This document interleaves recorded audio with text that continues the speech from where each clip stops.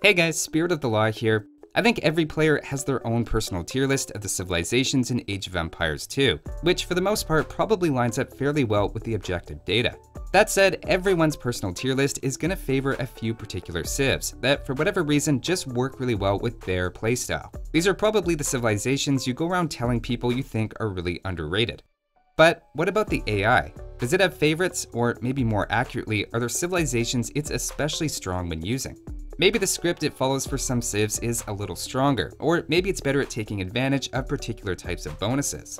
The AI loves berries after all, so maybe it's especially good with Franks, or because it favors archers and skirmishers in feudal age, it's best with archer bonuses. You might assume the AI is equally difficult regardless of civilization, or that strong civs for online play would be good for the AI as well, but there's really no good reason that either of those things have to be true. It'd be interesting to know. The problem, of course, is how would you possibly find out which civs the AI performs best with?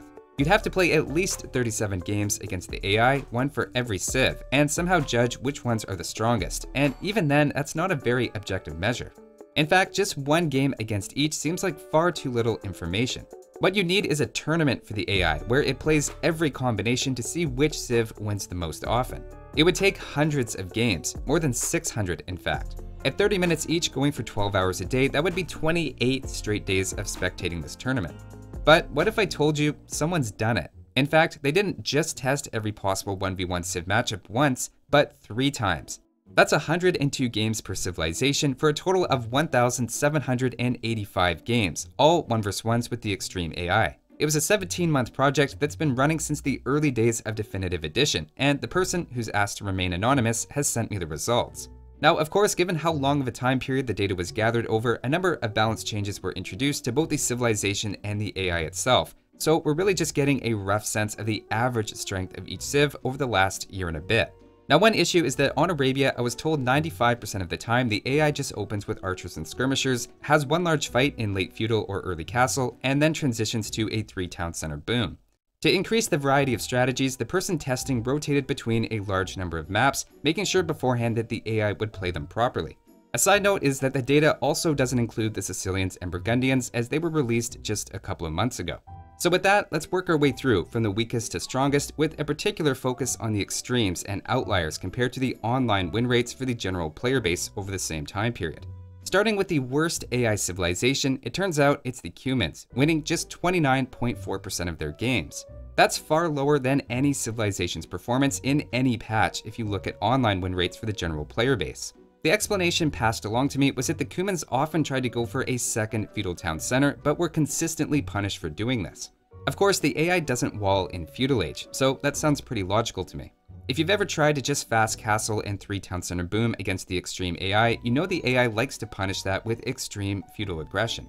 Other civilizations with a very poor win rate under 40% include the Italians, Mongols, Turks, Magyars, Burmese, and Saracens. Notice Mongols, Turks, and Magyars all have decent light cavalry, and the standard competitive play would be to open with scouts. The extreme AI never opens with scout cavalry though, so it makes sense these civilizations are underperforming. Italians, on the other hand, have been consistently weak for the general player base, and I think their low performance reflects more on the civilization over the last year than any major misplay by the AI. I have noticed the AI loves the Genoese crossbowmen as well and seems to prioritize a castle for it early on, which, like the Cumans, might be opening it up to an early attack. It's also not terribly surprising to see the Burmese, who typically rely heavily on their Arambai, and the AI probably isn't using them particularly well. It rarely uses the sort of hit and run tactics that you would expect from even an intermediate player. The next wave is the 40% to 50% win rate group, which we'll call the underperformers, but not bottom tier. This includes Bulgarians, Berbers, Tatars, Indians, Koreans, Portuguese, Franks, and Slavs. Again, we see a disproportionately large number of cavalry civilizations showing up that normally would be doing much better online. Franks and Berbers are consistently strong civilizations, with Franks being unquestionably the best civilization statistically over the last year, so it's interesting that the AI really struggles to use them. Again, I think a lot of this comes down to the lack of scouts in its opening repertoire. Others like Bulgarians, Portuguese, and Koreans have been fairly weak before recent buffs, so they aren't too surprising here. Personally, I would have thought the Slav and Indian economies would be helping them out a lot more, as the AI enjoys booming on three town centers while maintaining zero idle time, helping it take advantage of that. The next group is the 50 to 55% win rates, which we'll say are average or slightly above.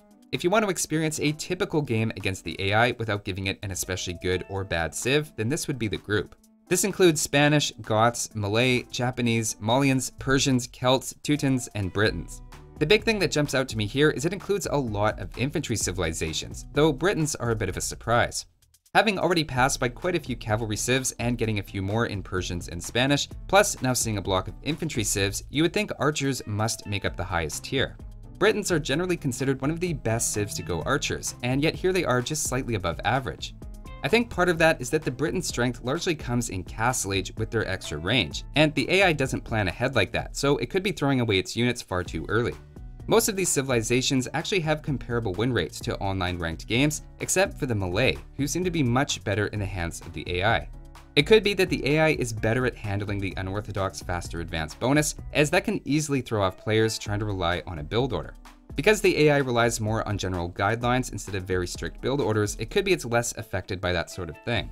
The next group are between 55 and 61%, which brings us right up to the edge of the top 5 civs. This includes Incas, Khmer, Byzantines, Mayans, Aztecs, and Lithuanians. Here in the top 10, we're starting to see the American civilizations appear, which is around where they perform online as well. Incas are typically a bit higher relative to the other American civilizations online, but that win rate is also inflated by a very aggressive tower rush that the AI doesn't do, so to see them a bit lower isn't too surprising. One massive outperformer here is the Byzantines, who are typically a below average civ, so the 59% win rate for the AI is a dramatic improvement. I think that says a lot about the AI's love of using trash units, as well as the fact that the AI gets hung up a lot attacking buildings. Remember, this is the AI playing against itself, so bonuses that help it exploit other AI are going to be reflected in the stats. Byzantine's greater building HP means their buildings are going to be able to distract enemy units for a longer period of time. Lithuanians also have bonuses in techs for trash units, plus the AI is quite diligent about collecting relics, so it's not too surprising to see they perform much better than other cavalry civs. On the other hand, the Khmer are really interesting to see here, as they're generally average to below average, and it's difficult to explain why the AI is so strong with them. The AI doesn't garrison villagers and houses or make use of skipping prerequisite buildings as far as I've seen, so it's effectively playing without a couple of its bonuses. One thought I had is that since Malay also outperformed expectations, it could be the AI benefits disproportionately from access to battle elephants, for whatever reason. It could be that they counter enemy archers and skirmishers so well, but it's hard to say for sure. The next three, which are number 3, 4, and 5 overall, are tied with exactly 65 wins and 37 losses. The three civilizations are Vikings, Ethiopians, and Chinese. Notably, all three are typically played as archer civilizations, with a strong feudal age economy to back it up. While none of the three are consistently top 5 online for the general player base, it's fair to say they're definitely above average. There's an undeniable pattern here that the AI loves its archer civs, and seems to perform very well with them. Next, at number 2 with a very strong 67 wins and 35 losses, we have the Huns. Apparently, even the AI appreciates not worrying about getting housed, and according to the stats, this is a top 5 civ for the overall player base as well.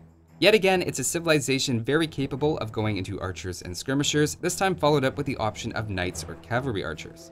In practice, I found the AI as Huns tends to lean toward opening with militia, which is an effective strategy in AI mirror games that often disrupts either foragers or gold miners. So who does that leave for the number one spot? We've already seen the Franks, so it can't be them this time. It turns out the number one civ for the AI is one that's had just a 46% win rate for online players in the last year. For most players, the Civ appears unremarkable, but the AI would probably say they're underrated. At an incredible 67% win rate, it's the Vietnamese. Seeing an Archer Civ at the top shouldn't be a big surprise, but the fact it's Vietnamese in particular is something I would not have predicted. If you think about it though, it kinda makes sense. They're the only Archer Civ that have access to battle elephants, which we've seen before in the case of Khmer and Malay are associated with unusually good performance for the AI. They also have very good trash units, which appeared to help Byzantines outperform as well. Of course, it had to be an Archer Civ as well given how the list was shaping up. Put it all together and you have the Vietnamese, the favorite Civ for the AI. So next time you want to fine tune the challenge you get from the computer, now you know which civs to pick. Thanks for watching, and I'll see you next time.